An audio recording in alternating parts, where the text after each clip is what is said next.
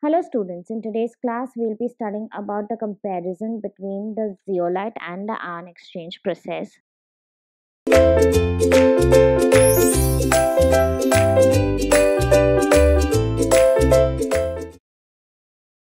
So first let us see what are those processes. Zeolite process and ion exchange process are water softening processes. Now as all of us know water is of two types hard water and soft water. So if we need to convert hard water into soft water, we need to come up with a certain process.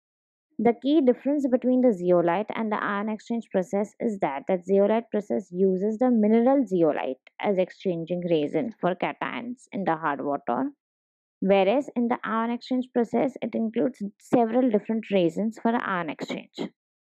Furthermore, the zeolite process is a form of ion exchange process for softening the water.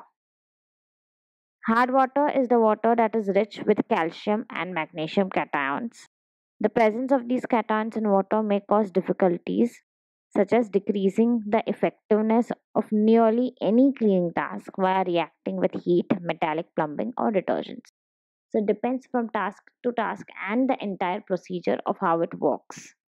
Therefore, it is better to remove these ions from hard water. We call it as water softening.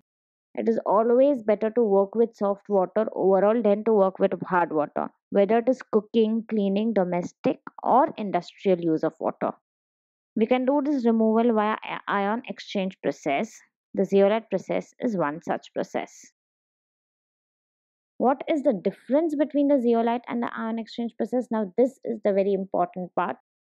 The zeolite process is a process of softening hard water via ion exchange technique using the chemical compound zeolite. Whereas in the ion exchange process, it is a water softening technique where we use cations and anions. Now remember, cations are positive ions, and anions are negative ions in order to soften the water. This is the key difference between the zeolite and the ion exchange process.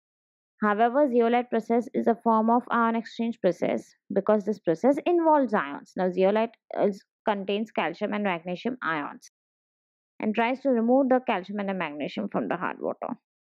Moreover, the zeolite process involves the exchange of sodium ions only while the ion exchange process involves the difference anions and cations such as chloride ions, hydroxyl ions, hydrogen ion and sodium ion. So in the ion exchange process, we have a lot of variety of what different ions it has to offer, wherein in the zeolite process, there are some specific ions which are present. The below infographic presents the difference between the zeolite and the ion exchange. So first let us see the definition. In zeolite process, a process of softening hard water via ion exchange, technique using chemical compound zeolite.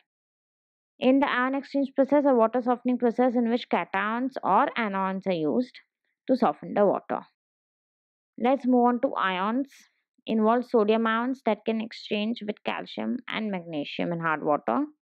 And for the other process, it involves sodium ions, hydrogen ions, chloride ions, hydroxyl ions.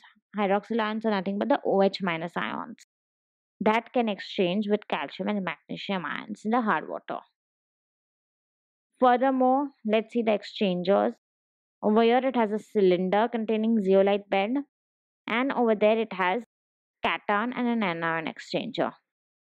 And the zeolite, the hard water, gets softened Hence, it is classified as a hard water softening process.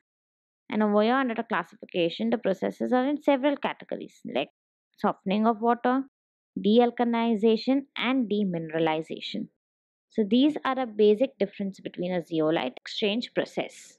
Thank you so much for watching this video. Thank you.